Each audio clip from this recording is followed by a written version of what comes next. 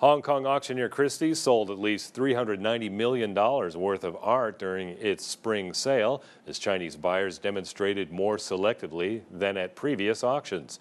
According to the Christie's website, the results exceeded the pre-sale estimate of $320 million. However, Bloomberg said the sales lacked the energy seen earlier this month in New York, where Christie's, Sotheby's, and Phillips tallied a combined $2.2 billion at their respective art auctions. Christie's Hong Kong auctions comprise modern and contemporary Asian art, classical Chinese paintings and ceramics, jewelry, watches, and wine.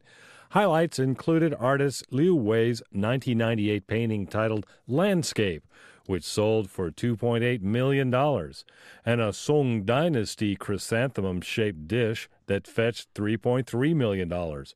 Another notable sale was a collection of wine belonging to former Manchester United manager Sir Alex Ferguson that raised $3.8 million. Despite the presence of some eye-catching lots, the total amount raised was less than the $410 million generated by Christie's at last year's spring sale.